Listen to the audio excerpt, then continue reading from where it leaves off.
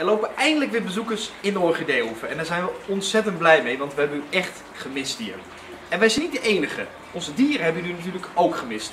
En dan voornamelijk onze regenboogloris. U weet wel, die leuke papegaaitjes die je dan met een bakje nectar kan voeren. Ja, die vinden het geweldig dat het bezoeker weer is. En we gaan zo even bij ze kijken. Iedereen die in de is geweest, die kent natuurlijk onze regenboogloris wel. We hebben er ontzettend veel en in de tuin is het een drukte van je welste. En die regenboogloris die komen uit Australië. Eh, daar leven er ontzettend veel van, leven vaak in grote groepen.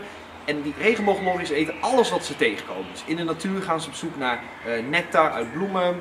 eh, maar ze eten ook insecten, noten, vruchten, zaden, noem maar op. Alles wat ze tegenkomen, eten ze op. En in de natuur zijn ze ook de hele dag druk bezig met het zoeken naar voedsel. En bij ons in Orchideehoeve hebben ze gelukkig ook een mooie dagtaak. Bezoekers nemen namelijk bakjes met nectar mee. En die lorries vinden het prachtig om te kijken wanneer er een bezoeker met nectar is. Ze vliegen van de een naar de ander. En op die manier houden we ze ook lekker bezig. En u hoeft er zich niet druk te maken, maar als er nou heel weinig bezoek zijn, eh, krijgen de lorries dan wel genoeg eten? Nee, eh, onze lorryverzorgers geven namelijk zelf ook drie keer per dag onze lorries eten. Dus hebben we een dag dat er heel veel bezoek is, dan geeft de verzorger iets minder en de bezoeker iets meer.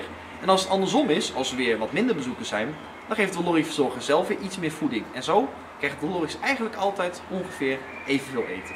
Lorries hebben een bijzonder tongetje. Eh, als je een keer goed naar die tong van zijn lorry kijkt, het lijkt wel een beetje een kwastvormig tongetje.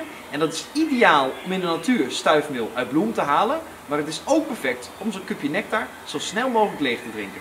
Het zal je verbazen hoe handig ze erin zijn.